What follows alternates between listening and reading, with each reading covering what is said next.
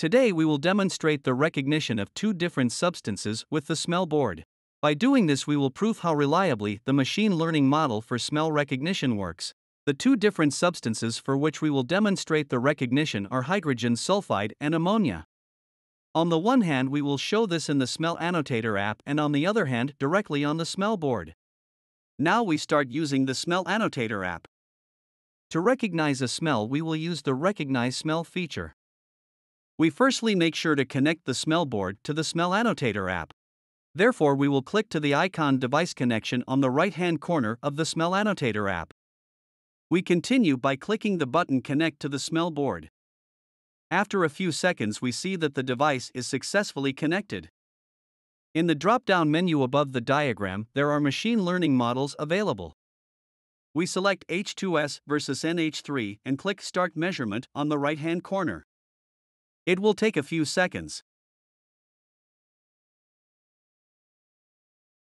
The appearing lines on the diagram show that the measurement has already started.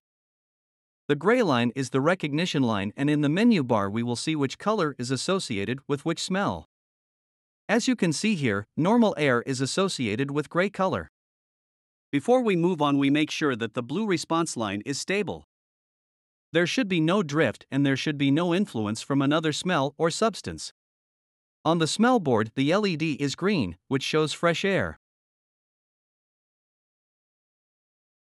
We firstly start with measuring H2S. On the smell board, a yellow LED will appear for the recognition of H2S smell. A red LED will show us that ammonia smell was recognized. When it looks like the response line in the Smell Annotator app is stable, we screw up the cover from the flask with the hydrogen sulfide and move the smell board above the flask. And we are seeing immediate recognition. On the smell board, the LED turns from green to yellow. In the Smell Annotator app, the gray line turns black.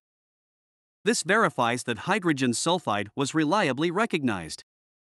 Now we will move the smell board away, screw the flask, and let the sensor recover for a few seconds. The recovery from hydrogen sulfide is very short. On the smell board, the green LED lights up again, and in the Smell Annotator app, the gray line appears back, which both shows it is normal air again. And this is the reason why we can already start with the next measurement.